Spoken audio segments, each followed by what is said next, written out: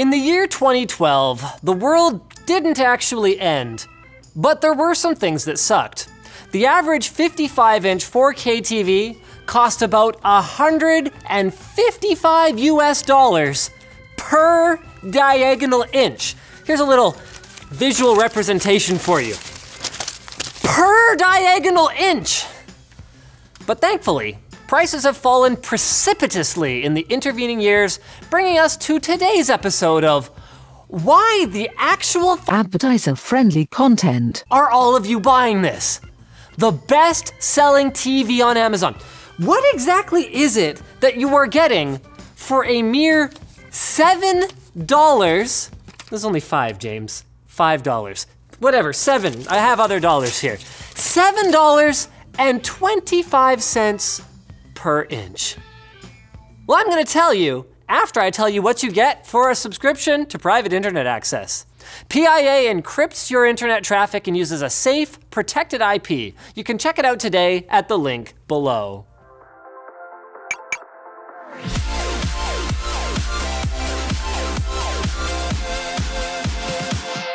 The TCL 55S405 is the best selling TV on Amazon with over 2,500 reviews and an average rating of 4.3 out of 5 stars.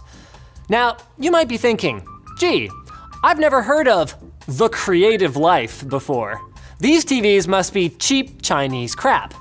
But you would only be 66.6, repeating of course, percent correct. It is cheap, it is Chinese, but it's actually surprisingly decent.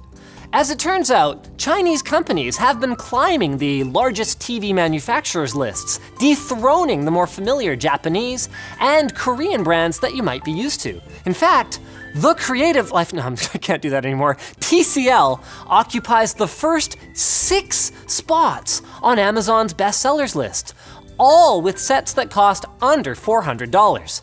And this was actually really surprising. Unlike most value brands, TCL didn't just buy a panel that was made by LG or Samsung and put their own casing around it. They are a completely integrated company that makes their own panels, cases, and stands. In fact, TCL is now the world's third largest producer of TVs, and they claim to be the fastest growing TV brand in America. They were even the first Chinese TV manufacturer to nab lucky 8% market share. And the picture quality is really good for the price, like we can see why. So it's a 3840 by 2160 VA panel, which gives it nice deep blacks. It uses a direct backlight instead of edge backlighting, and it's got entry-level HDR10 support thanks to its 8-bit plus FRC bit depth panel, something that both movie watchers and gamers are likely to appreciate. And on that subject, the gaming experience is actually surprisingly good as well.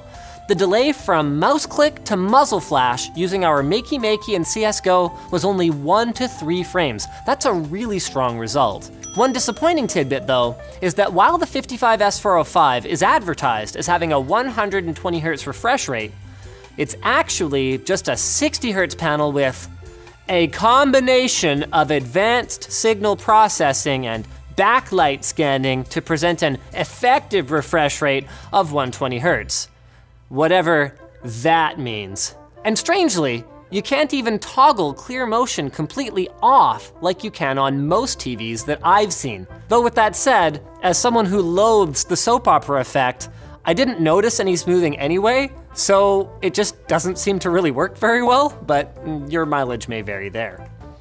I.O. wise, it's pretty generous, including three HDMI 2.0 ports, a headphone jack, awesome for a PC setup, and an Ethernet port, which is fantastic since many people think that they're watching 4K Netflix or they've got a 4K Chromecast Ultra, but they aren't actually getting 4K streaming because their Wi-Fi isn't fast enough. And you'll wanna be doing a lot of 4K streaming on this thing because not only is it a smart TV, but it actually basically has a Roku Streaming Stick Plus built right into it. That's a dongle that usually costs the hell's the remote? Ow. That's a dongle that usually costs at least 50 bucks on its own, and it lets you use your phone as a remote, cast media from your phone, and switch to your game consoles without flipping through inputs, allowing them to appear as tiles, just like your other apps. For bonus points, they even made all of the menus loop, so if you wanna go all the way to the bottom, all you have to do is hit up. Thank you. But surely they had to uh, cut some corners to get the price this low, right? And yes, yes they did. The most obvious one is brightness. Your 55S405 will do you just fine in a dark or moderately lit room. But if you're gonna deploy it in your living room and you've got a lot of natural light there, you are going to struggle to see through the shiny AF glare. And then there's the speakers. So the problem with them is that they suck. A pair of 8 watt speakers sounds bad even on paper, considering that we've reviewed monitors with 10 watt stereo setups, and in real life, they're even worse. Now, you'll be okay watching the news or reruns of The Big Bang, but if you're breaking out the popcorn for a bass banging movie, we would suggest some kind of audio upgrade, like maybe this entry level soundbar from the Amazon bestsellers list. We haven't actually tried that one yet, but should we? Maybe let us know in the comments below. Bringing us finally to the not so premium look. The case is three inches thick, made of plastic with a sheet of aluminum at the back, and it rocks quarter inch bezels. and I mean, while no one's likely to ridicule you for them,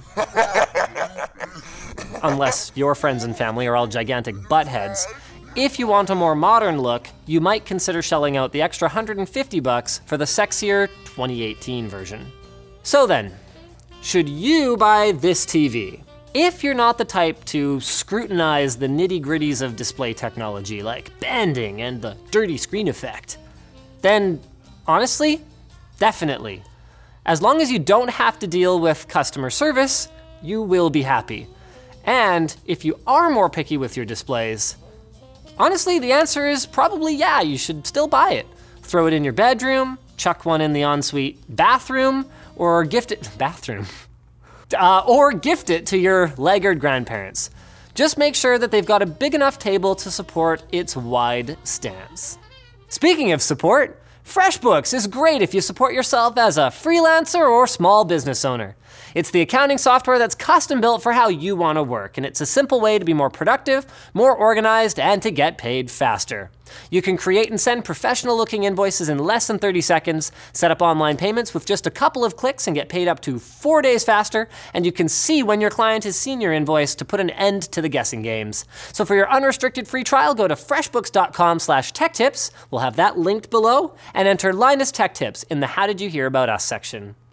So thanks for watching guys. If this video sucked, you know what to do, but if it was awesome, get subscribed, hit that like button, or check out the link to where to buy the stuff we featured in the video description. Also linked down there is our merch store, which has cool shirts like this one, and our community forum, which you should totally join. Community, community. That came out kind of weird. That's okay. That's okay because I have all of the this like amazing American money that could just as easily be hundreds as ones because you can't really tell unless you look really closely at it. Money!